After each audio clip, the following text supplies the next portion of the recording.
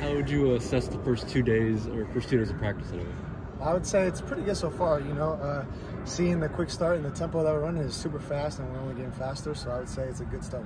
No DTR out there. How are the other quarterbacks starting to look? All doing well. Uh, you know, we have a lot of quarterbacks, big rotation, and they're all looking very, very nice. This is a very stacked uh, receiving room. Uh, you know, what can you say about some of the new guys that, that are uh, joining you? Uh, we brought in dudes that can play, and we have dudes that from last year that can also play. So very stacked and very explosive this year. What can you say about Jay Michael and uh, Kyle Ford?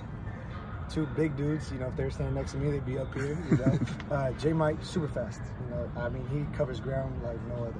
And then Kyle played with him in high school. That's that's my guy. Big dude. You are not going to be able to outmuscle him at all. And these guys are savvy with it. They have great hands. Play playmakers for sure.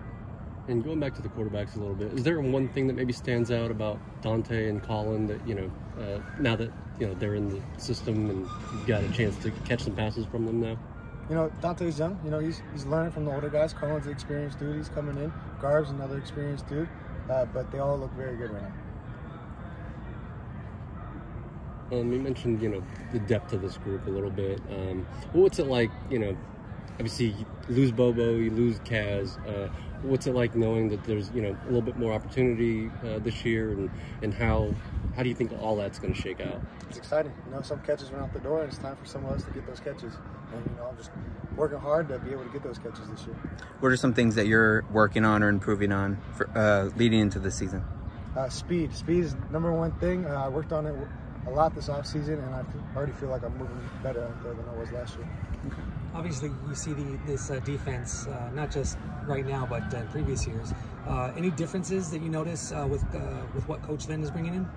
It's a you know new coach, new defense. You know, very, very, very good defense. I would say. You know, have us on our toes out there.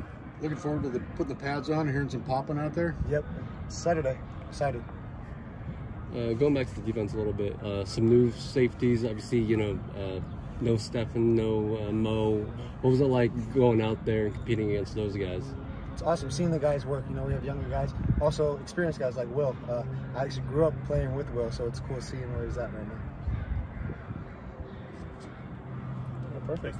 Perfect. Have a good Thank one. you.